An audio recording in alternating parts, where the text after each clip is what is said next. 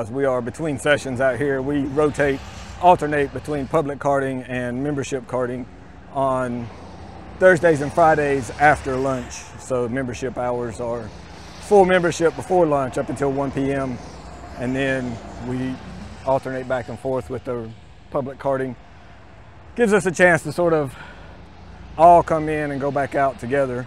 Um, sessions are a little bit, you know, shorter. They're determined by the time it takes to run a couple of karting sessions. But I thought I'd talk a little bit about the deeper mechanics about what goes on with these things. I think it's really cool and I learned a lot from when I started versus now.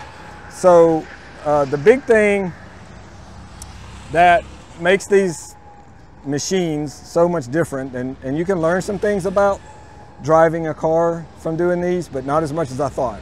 Uh, there's a lot of things about these that are actually the opposite of what you might be used to, or, or at least different enough that it doesn't help. But the big thing is a solid axle. So because it has a solid axle and no suspension, but there is suspension, the, the frame itself is sort of has some flexibility to it. But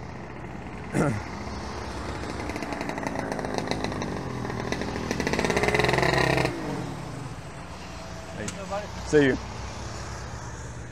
So in order to get it to turn, you'll notice that there's a lot of sliding going on, a lot of correcting of the wheel. And that's by design because without a differential, these two tires are fighting each other whenever you're rotating the kart. And you can tell just by pushing it. Like if I turn that steering wheel right now and try to roll it, it's very difficult to move um, because these tires are binding. So what they've done is, is this whole mechanism right here is is the trick to the whole system working. Normally on a car, the tire rotates on the pivot point. So the tire would be right here, right? And it's like they could do that, but they intentionally don't do that. And the reason being, they want to do what's called jacking. They want to put this kart into three wheels, into a tripod when you turn the steering wheel. So when I turn this wheel,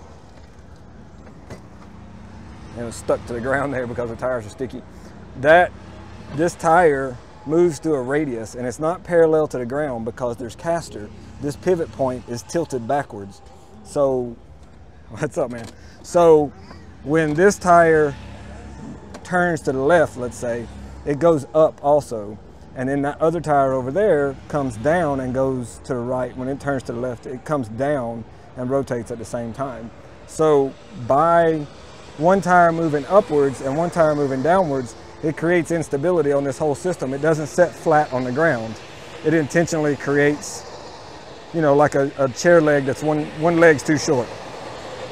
And so what happens when you're going around a turn, because of that action, one of these two back tires or one of two front tires is going to come off the ground. But typically because you're on the gas, it tends to um, push a lot of weight onto the back tire and it'll lift the inside tire. And so on a four-wheeler or a differential based vehicle, if you lift a tire, it will probably just rotate and spin if it's an open diff. If, if it's a locking diff, then that's a different story also. But because this is a fixed axle, lifting a tire doesn't kill your drive and it gives all the drive to the outside tire. So let's say you're turning left, you lift up that inside left tire just a hair as you're rotating and turning now all the drive power goes to this tire off this axle.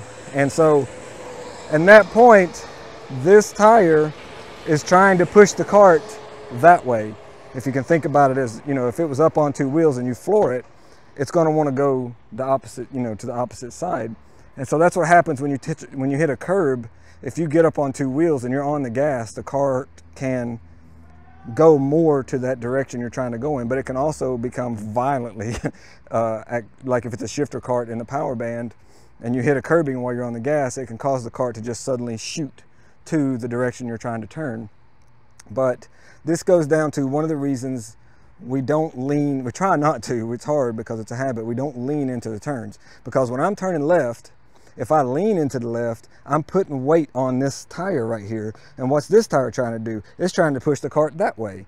And so it starts to fight the front tires and you end up in, in, sort of a push. It doesn't really want to turn like you want it to. So you have to let yourself sort of fall against the seat. And that's why these seats are so tight. They're five different sizes roughly, and you get them specific to your body width. And when you go into a turn, you put pressure on this seat. This seat puts pressure on the chassis, puts pressure on that tire. And then the whole thing sort of jacks even more, even better. And it allows it to really rotate and go around the corner if you're on the gas. Now, if you're on the brake, it kind of does the opposite thing. But typically, when you're braking, that's the tricky part about these these karts, especially most classes of karts are rear brakes only. We have no front brakes. There is a lot of weight on the back. You're sitting way back and the motor is situated towards the back. So these things have a very rear biased weight distribution. There's like 80, 20 or whatever. So you can brake pretty hard but you still will easily lock up the rear tires if you brake aggressively. And all you need to do is put a little bit of rotation into the steering wheel while you're braking, and you will definitely run out of braking money. as they say, you got $10 of traction. You can spend it all on braking. So if you're in a straight line, you're braking as hard as you can, you're spending all $10 of your traction. You put in a dollar's worth of, of steering, you're out of, you're out of money you're gonna spend. So you can use that to your advantage. Like as you approach a turn, you can sort of, as you're getting to the end of your braking and you're going to turn in, um, you can use that to sort of get the car to rotate a little bit and then get on the gas um, and sort of throw it in there, but you don't want to get too crazy. But you typically want to brake like a motorcycle. You want to brake in a straight line and then you trail into steering. And so you transition from braking to steering, whereas in a car or in a shifter kart where we have front brakes, you can brake pretty late and while turning and it's not that bad. Even though a shifter kart also has a solid axle, it doesn't, you typically have the brake bias set, you know, so that it's pushing a little bit more of the braking onto the front like a car.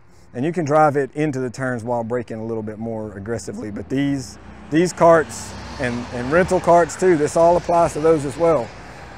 Brake in a straight line as hard as you can and then get off it and turn. Don't lean into the turns. Uh, even on those karts, they're, those things are 400 pounds, the rental karts. These are about 200 pounds. But your body weight still has an impact when you're dancing on the threshold of spinning out and sliding and everything anyway. Plus those karts run pretty hard tires to last longer and all that jazz. So uh, a big mistake though that I still do from riding motorcycles and riding four-wheelers is leaning into the turns as I'm approaching them and things like that. And I have to tell myself, you know, don't lean into it.